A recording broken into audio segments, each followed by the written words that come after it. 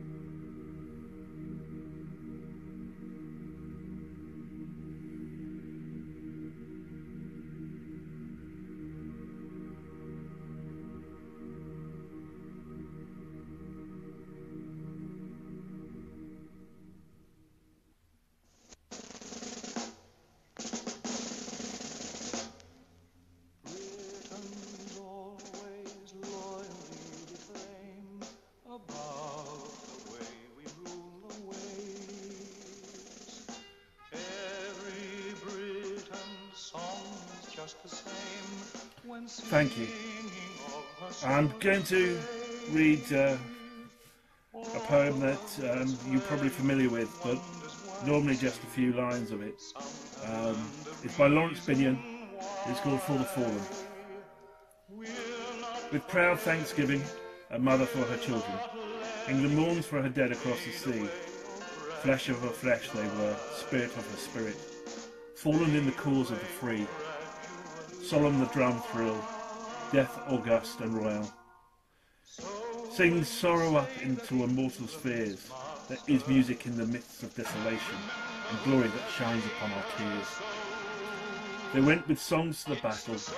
They were young, straight of limb, true of eye, steady and aglow. They were staunch to the end against odds uncounted. They fell with their faces to the foe.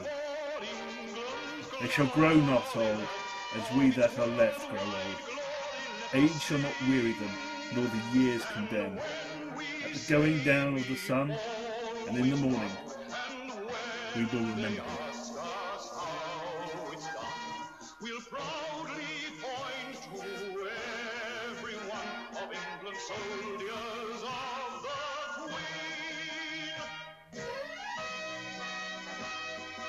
We'll again, I would just like to say thank you to Alan for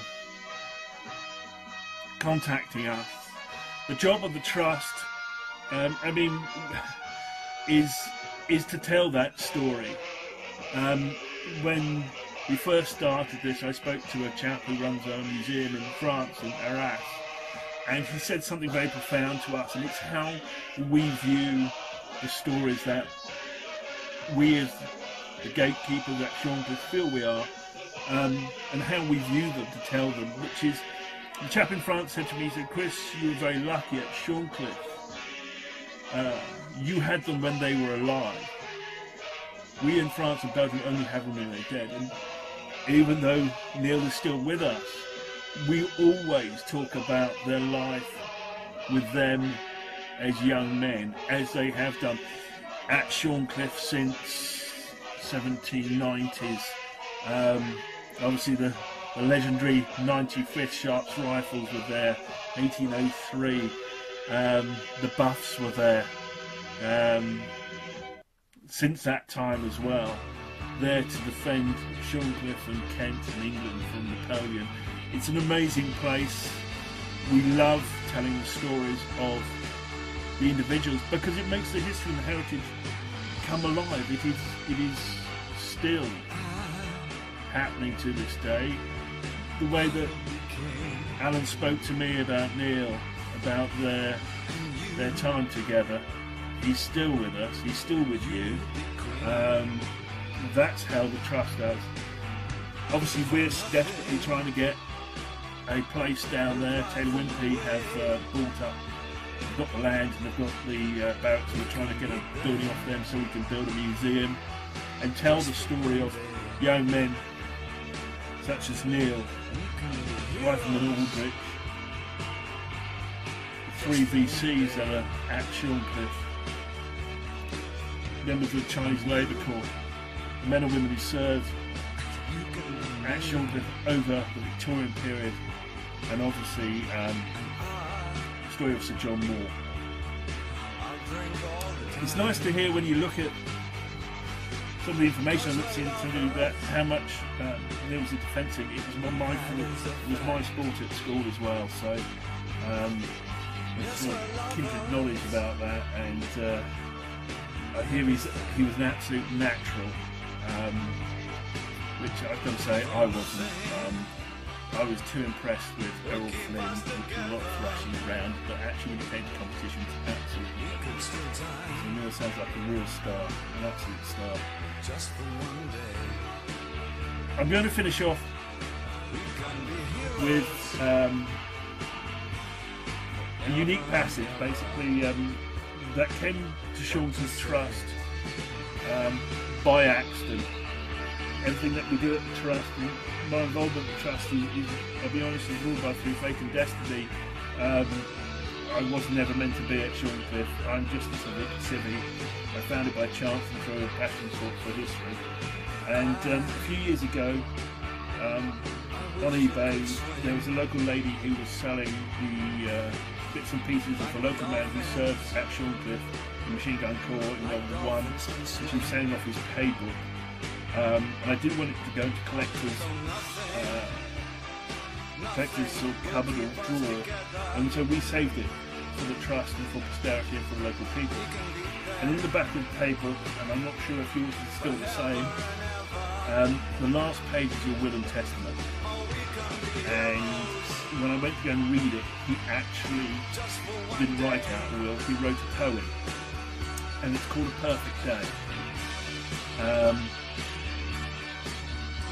I'm going to read to you now. So this was written by a guy called Harry Smith, a machine gun corps from Shorncliffe, local man from Dymchurch. This is what he wanted to say whilst he was in the trenches in his last moment. Called Perfect Day. When you come to the end of a perfect day and you sit alone with your thought, while the chimes ring out of a carol gay, the joy that the day has brought, you think what the end of a perfect day can mean to a tired heart. When the sun goes down with a flaming ray, and the dear hearts have to part. For this is the end of a perfect day, near the end of a journey too, but it leaves a thought that is big and strong, with a wish that is kind and true. The memory has painted this perfect day, with colours that never fade, and we find at the end of a perfect day, the soul of a friend we've made. I would like to dedicate this evening to Private Neil Clarke, 24626154, second to 800, second Battalion Queen's Regiment, who killed an acting 23rd April 1984 from the Derry Northern Ireland. His friends remember him to this day. Would like to thank Alan, I'd like to thank Viv, I'd like to thank all of you for joining us tonight. Um, we're going to finish off with one last song, and it is of a perfect band. Young Harry Smith, when he wrote it in his will, his last will and testament, actually, it was a song, popular of the day.